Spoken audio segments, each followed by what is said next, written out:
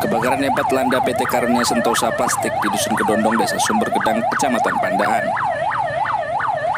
Dari berbagai keterangan awal, api terlihat dari sisi utara pabrik pengolahan plastik itu sekitar pukul 12.15 Selasa siang.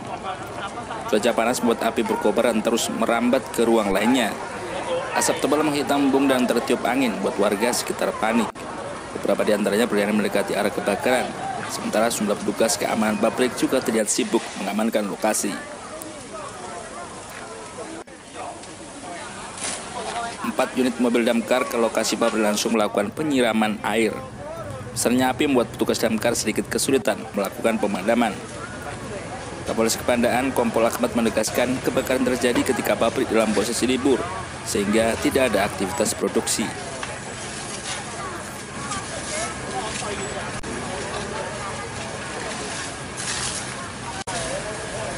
Ia pun menduga api yang meluluhkan pabrik plastik ini akibat adanya konsletring listrik. Namun, ia masih menunggu hasil penyelidikan dan saat ini masih fokus pada upaya pemadaman.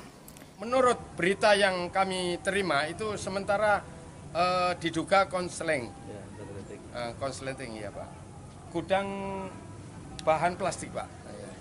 Saat kejadian apa ada apa, pekerja karyawan di dalam? Eh, sementara ini diliburkan pak. Warta Bromo TV melaporkan.